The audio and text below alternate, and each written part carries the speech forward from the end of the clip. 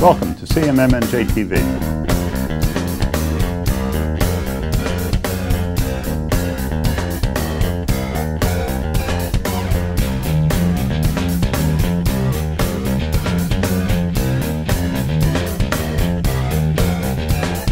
Every 42 seconds, someone is arrested for marijuana. I'm Ken Wolski, Executive Director of the Coalition for Medical Marijuana New Jersey. The mission of our organization is to educate the public about the benefits of marijuana. Marijuana is a safe, effective, and inexpensive therapeutic agent for a wide variety of diseases, symptoms, and conditions. No patient should suffer needlessly without it, and no patient should ever go to jail for following the advice of a doctor. Join us and learn more about the exciting science of medical marijuana. Welcome to CMMNJ TV. I'm Ken Wolski, Executive Director of the Coalition for Medical Marijuana New Jersey. I'm a registered nurse and I've been an RN in New Jersey for 39 years now and Executive Director of the Coalition for Medical Marijuana for about 10 years. I'm here in the Princeton Community TV studios via Skype with Josh Gilbert. Josh is the uh, documentarian who did an excellent documentary on uh, Tommy Chong, uh, the uh, arrest of Tommy Chong and uh, incarceration uh, for nine months, um, called AKA Tommy Chong, which I just saw the other day, oh, Josh, yeah. and I just want to tell you how much I enjoyed your documentary on Tommy Chong. Thanks a lot. I appreciate that. Thank you. Yeah, I think it really was wonderful. You had terrific access to Tommy. You must be very close to him to, to get that kind of access. I mean, it's just very, very personal uh, experiences, you know, before he went to jail and all. Uh, just, uh, it, I, I, thought it was a, a, a, very moving documentary and very informative. Yeah, it was. Um, it was an interesting um, development and, and, and I guess sequence of events that led to it. I, I, I, I, have known Tommy for many years. I knew him for many years prior to his uh, his run-in with with uh, with the federal government we had been writing partners um, years prior to that and had been friends when he got you know the knock on the door at 5.30 in the morning uh, on that fateful february day in 2003 um, and i called him immediately and i thought it was a publicity stunt that's what i've always said and and and and he said no it was very real and and that's when the conversation started and several months later um, we were talking about another project, and I said, "What you're going through is really the story. We have to we have to tell that story." And he said that he couldn't because he uh, he was compelled when he was indicted to say that he wouldn't make a film about it. So that's when I said, "Well, I I wasn't I didn't have to sign a minute order or do anything, so I'll, I'll tell the story." Um, and and I did, and and I was I actually in retrospect kind of wish I had. I don't know. You you never know as as a creative when you make something if you did what you should have done. I, there there was a much more personal story to have you know told, but I, I was trying to make a political statement. I suppose I'm a I'm a I wanted I wanted to I wanted to make a a bigger statement than a than, than just a personal um, documentary or a personal sort of I like that stylistically, the intimacy of a, of a smaller film. But I, I, was, I was, I guess I was swinging for the fences in terms of the message, and and the anger that I felt, I felt, you know, required a sort of a broader uh, philosophical and political backdrop. You know, but I do have a more intimate film. I mean, there's like a thousand films you can make with with every documentary that people make. I mean, the average documentary takes two to seven years, and by the time you're done, you have hundreds of hours and how you choose to sculpt that, you know, I guess that's mm-hmm. that's that's what it comes down to. But that was a very long-winded response. But. no, no, no, fine.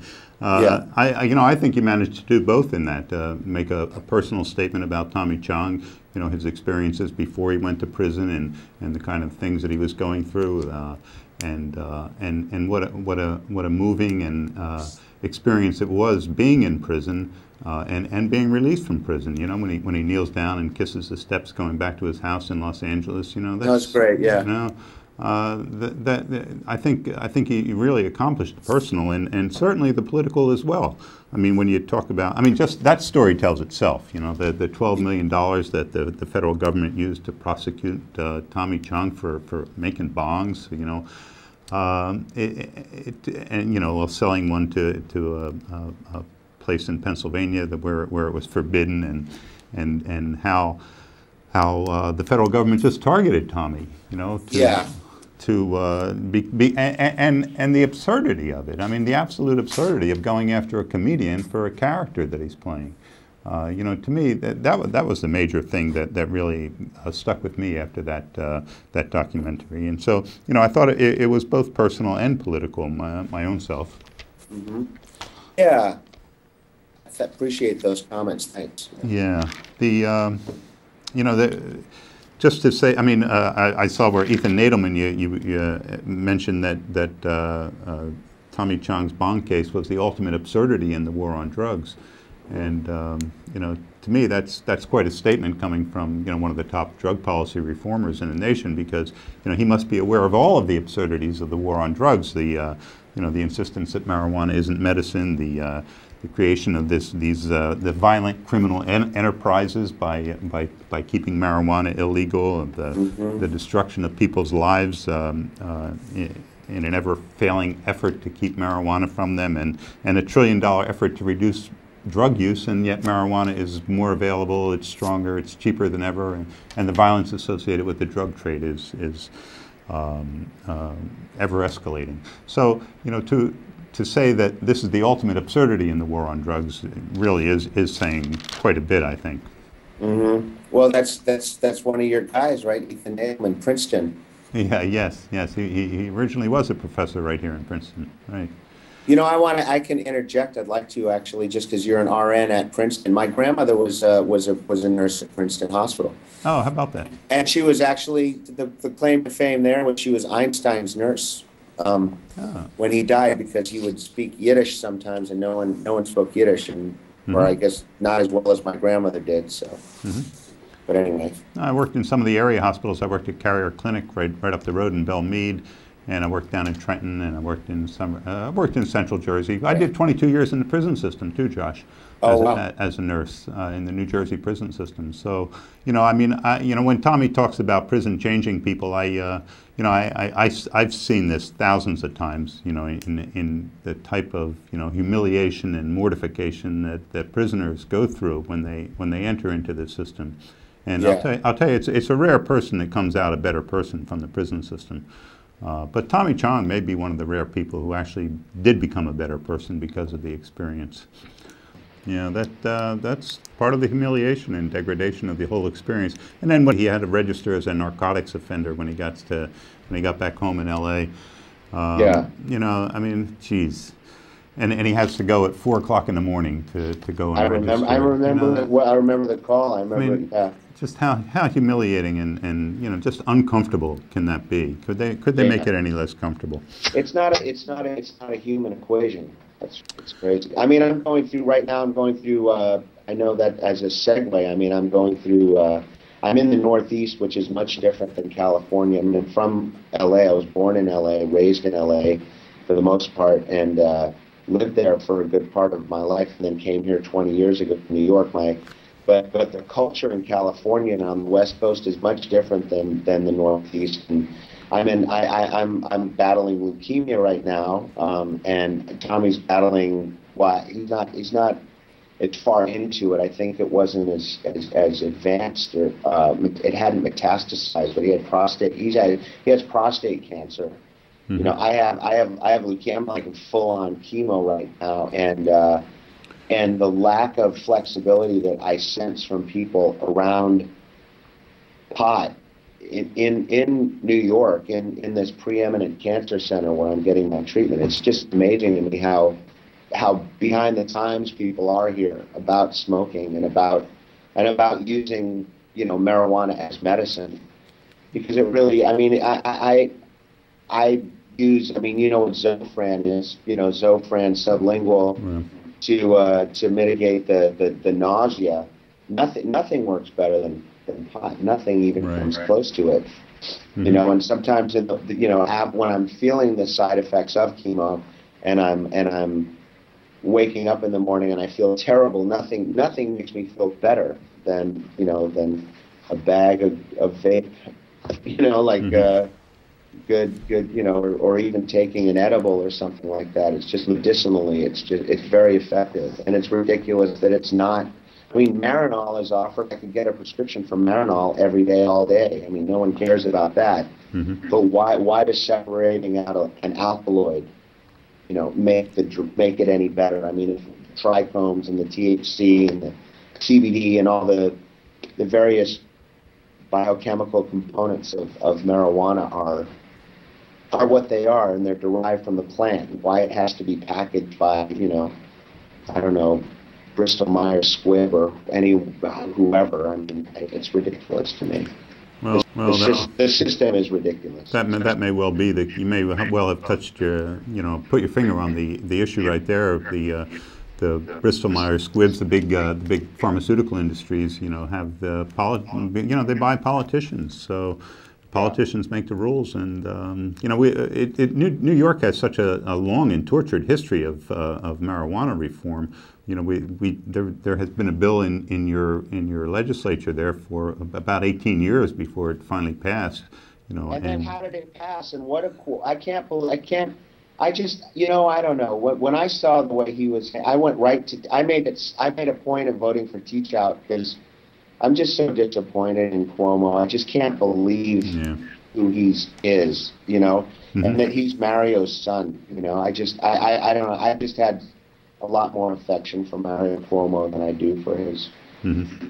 for his, for his, for his, you know, son who seems bought and paid for, just completely. Yeah. But I mean, the way they limited it to edibles and the way they limited the number of service providers and people that have the ability to dispense the edibles eventually, and just it's so cumbersome and it's so money driven. What I'm waiting for now, you know, is for when the federal government says, okay, forget it, let it go. Mm-hmm. Or if the scheduling changes from Schedule One, I mean, I don't know if, if, if it would even be scheduled, but if there's some, if the law changes on a federal level, um, how that will affect the state laws will be kind of interesting. Yeah, I, I, I, th- I, think it'll be have a tr- tremendous uh, effect on the state laws. Uh, you know, if if it uh, just getting it out of the federal Schedule One, uh, I, I, think that right. will really uh, do do an awful lot towards uh, normalizing the use of of marijuana in, in, this country. Right.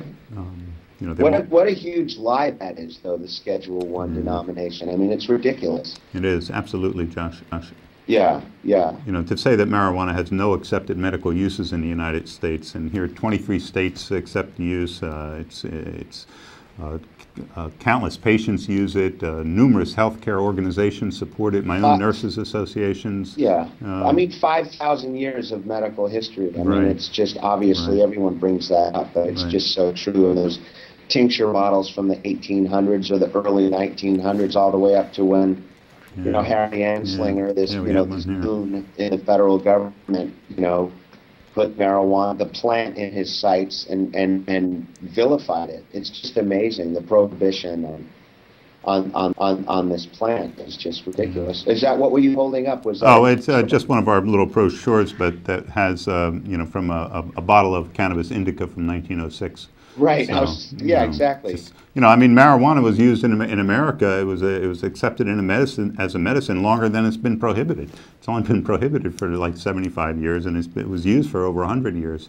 Yeah. Uh, numerous. Well, that's, uh, yeah, that's a smear campaign. That's what yeah. a smear campaign can do. It's just a you know, when you when you put a witch on the stake and burn her, you know, it's like. Yeah. And of course, it's not only, you know, Schedule One means it's not only that. Uh, uh, it, there's no accepted medical use, but uh, it has a high potential for abuse, and that there's an accept there's a lack of accepted safety for its use, even under medical supervision, even in the, even in the finest medical centers in, in New York and, and Philadelphia. You know, it's too yeah. dangerous to be used there. Sorry, you, you can't I, get it by prescription. I, I've never, I have not verified this, but I had a nurse at at, uh, at my hospital at MSK Memorial Sloan Kettering Cancer mm-hmm. Center, where I'm I'm doing my treatment now and, um, and this nurse told me that in the 80s, I guess as recently as the 80s, it was very common for, for patients to smoke because mm-hmm. it made them feel better. Right. And, um, and uh, pot. And, and I guess the NYPD came in, the New York Police Department came in, and they, and they put the kibosh on it, or for whatever reason the hospital administration stopped it. I'm not sure of the specific, specifics of that, but in response to that prohibition in the hospital, these two research scientists at MSK developed Ativan. Uh, it's a, a tranquilizer, Ativan, essentially. But um, the um, back in the day, well, you know, I became a nurse in '76, and you know, back when I was in, in uh, school, uh, back when I started practicing in, in, the ICUs and CCUs in Central Jersey, you know, the nurses we could smoke in the hospitals, you know, smoke cigarettes. And we would uh, we, we would smoke right out in the nurses' lounge, right outside the uh, nurses uh, outside the ICU. So, um, and typically cancer patients, you know, nurses would just, you know, turn a blind eye when they use marijuana in the in the cancer wards. Um, you know, right. They would just allow that because they, they, they would see how much how much good it would do the patients. You know, the the choice would be: do you want to carry buckets of vomit back and forth, you know, all day, or do you want to let this patient, you know, use marijuana in the hospital room and yeah. and, and control his nausea? It's like the Republicans going after, you know, just this just the political smear campaigns you can do so much damage to an idea or to a person by just making them seem terrible. Right right. They really tried to do that with tommy. I i, mean that was an amazing thing for me to see. I mean in the beginning when he was um, vilified it was post 9-11 and there was this incredibly jingoistic um, nationalistic bordering on fascistic fascistic um, atmosphere in Los Angeles at the time, post 9 11. And, and Vanity Fair came in to do an article about Tommy before he went to prison. Um, and that's its own long story. But, but the writer from Vanity Fair called me and tried to get me. I mean, I mean, I, I grew up in LA and I do know some people, but not to the level, not the same level that Vanity Fair would know people. And they, I could, they couldn't get anyone to say something positive about him because he was so. I mean, he got the last laugh, and and he came out of the situation. He came out of it, you know, doing really well. But even Cheech, I mean, Cheech, unin dis what what's the word? Uninvited him to his birthday party. Oh. Cheech did not invite him to his birthday party after the bust. I mean, after he was busted, before he went to prison, mm-hmm. there was this moment where no one would say anything on his behalf. Everyone kind of steered clear. You know what I mean? It was really, he really was, you know, it was like the Scarlet A, except it was the Scarlet P. I mean, Pauly Shore, you know, what, what's what's a Pauly Shore movie? You know the comedian Pauly Shore? He was the MTV host, and he, you know, he's uh, he's uh, the comedy store on Sunset Boulevard. He's that's his family, and um, I interviewed him. I didn't include it in the doc. It was one of the one of the outtakes, but he he actually reprimanded Tommy on film for for. He said, "What do you expect? You're walking around and you're the human embodiment of pot. I mean, what do you think? You're going to get busted, but why would you get mm-hmm. busted?" And no, no one really really was amazing. Even Cheech, you know, stayed away from him. That's something. It is something. It's crazy. But, but you know, he wasn't. I mean, my understanding is he really wasn't the human embodiment of pot. I mean, he, he was living a, a quiet life in a very nice section of Los Angeles uh, when when he got busted, and you know, he had this bond show, you know, this bond business. Uh, it wasn't. It wasn't his business. It was his. It was his son. I mean, his son's an opportunist, and you know, has always sort of leveraged his own. You know, but he, you know, he's he's he's he's personally gotten a lot of uh, you know social currency from you know from being a Chong. I mean, mm-hmm. celebrity kids are, mm-hmm. are their own phenomenon. I grew up in LA around it. I mean, I grew up in those same neighborhoods, so I knew fame. It wasn't that wasn't a choice that that, that Tommy made because Tommy wasn't in the equation on that level. I mean, mm-hmm. he was sort of the the branding and the friendly face on the millie on the bong, but he wasn't really involved in the day-to-day operations of the place. But he represented, you know, a target to the federal government and that went after him because this this completely imbecilic prosecutor out, out of Pittsburgh who married into this very elite um, um, patriarchal family in Pittsburgh wanted to make a name for herself. Mary Beth Buchanan. Right. I'm not, I'm not, I don't know what her. I can't remember what her maiden name is, but the Buchanans are very prominent people in Pittsburgh.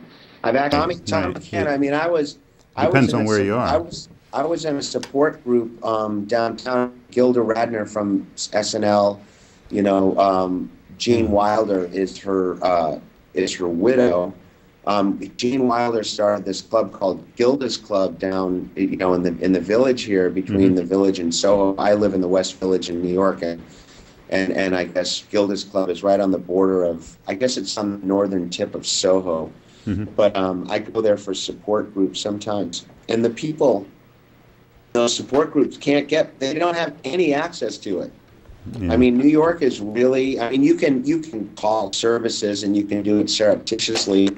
People get it from their kids and stuff like that, or from, but they don't know what's in the bag. There's nothing medicinal about it. Right. It's you know, people, Tommy can get access for it legally, Mm-hmm. and you know, people in Oregon and almost half the states in the country, but New York's really behind the times. It's crazy. Yeah. You know, on the other hand, Connecticut's kind of loosening up, and if Christie weren't governor, it would be legal and you know it would be accessible in Jersey because they've passed the laws for it, right? You're in Jersey now. Yeah, we're in Jersey. We, uh, yeah, our organization formed before there was a before there was a law. We we've been around for over ten years now, and uh, you know uh, our bill was introduced in 2005, and it passed into into law in 2010. But as you said, the Christie administration has been, really been um, just uh, uh, restricting access to medical marijuana far more than the legislative intent was. But why though? That's what I don't understand. One of the things that was shocking to me when I put the film out was the number of Republicans and libertarians, and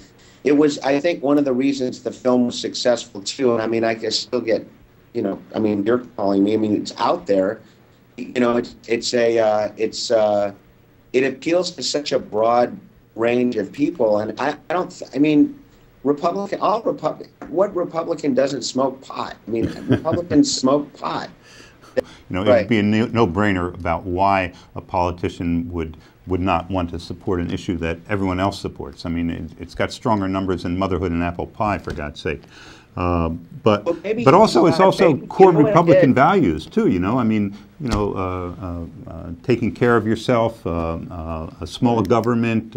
You know, the the prohibition of marijuana seems to really run counter to so many traditional Republican ideals that it, it really is difficult to understand why why there is so much resistance in, in You the know- Republican Party. But but there, I mean, there really was a great divide. It was it was a it was a terrific victory to get Republican assemblymen and Republican senators here in the state of New Jersey to support medical marijuana.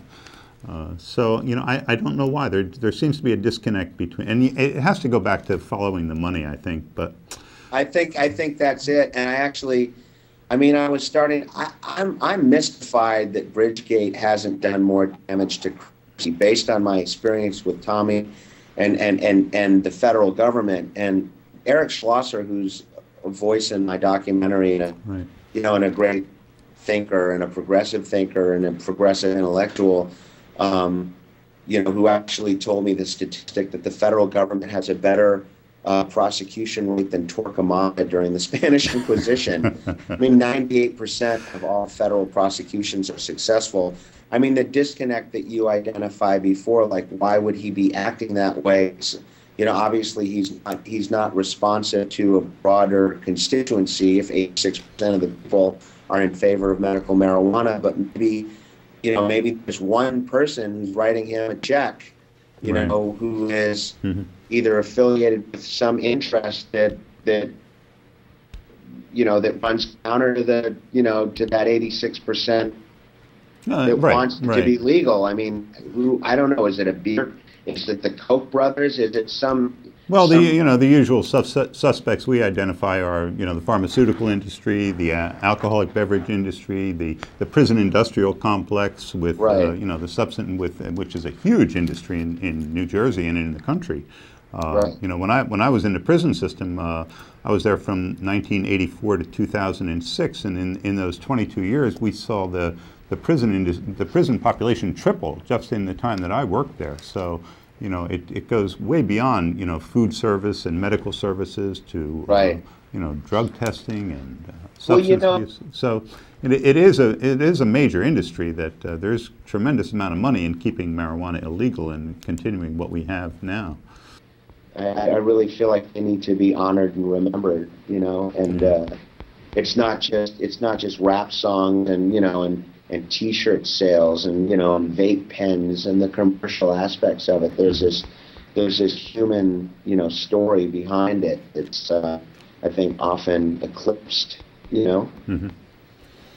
Um, we're finding that the bigger and tougher these police are, uh, the bigger their hearts are. Because a lot of these cops know people with cancer and know people with PTSD and other horrible diseases. And we're approaching Okay. them with respect and we're No, approaching that's them. good. That's That, that, that's the key, I think. Yeah. You know, not, not, not to. No, that's uh, true. That's right. true. I, I, and I want to be too over. I mean, I've met great. I mean, I was here for 9/11. I mean, there were great heroes. You know, in badges and with guns. I mean, it's just it's just when you when you when you're when you're uh, you know when you're challenging someone like that with humor and you're and you're forcing them to consider their their preconceptions about pot. But I mean, I that sounds like that sounds like that sounds like the type of story that a lot of media outlets would would, would really be would really be intri- intrigued by. And I know that there's online publicity um, resources. You can get like an online publicist.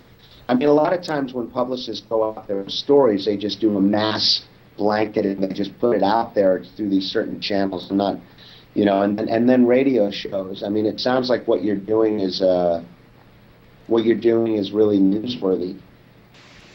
I appreciate your encouragement, your suggestions, and, and, and, and all of your help. And I appreciate you coming on CMMNJ TV today, Josh. It Thanks was really, a, really a terrific pleasure speaking with you and Yeah. meeting you and, uh, and seeing the face behind, the, uh, behind this wonderful documentary that I just got from Netflix and I'm going to be returning tomorrow. Thank you very much. Yeah, yeah, appreciate it. For more information about the Coalition for Medical Marijuana New Jersey, join us at our free public meeting on the second Tuesday of every month at the Lawrence Township Library in Mercer County, New Jersey, from 7 to 9 p.m. Snacks are served and all are welcome. Remember, every 42 seconds, someone is arrested for marijuana. Every 42 seconds, someone is arrested for marijuana. Every 42 seconds, somebody's arrested for marijuana. Every 42 seconds, someone is arrested for marijuana. Every 42 seconds, someone's arrested for marijuana. Every 42 seconds, someone is arrested. Every 42 seconds, somebody is arrested for marijuana. Every 42 seconds, someone is arrested for marijuana. Cada 42 segundos está uno arrestado por marihuana. Every 42 seconds, somebody is arrested for. Every 42 seconds, someone in this country is arrested for marijuana. Shotgun dice con ya y todo el mundo marihuana. Every 42 seconds, someone is arrested for marijuana. Every 42 seconds, someone is arrested for marijuana, lefty. Every 42 seconds, someone is arrested for marijuana. Every 42 seconds, someone is arrested for marijuana. It could be you.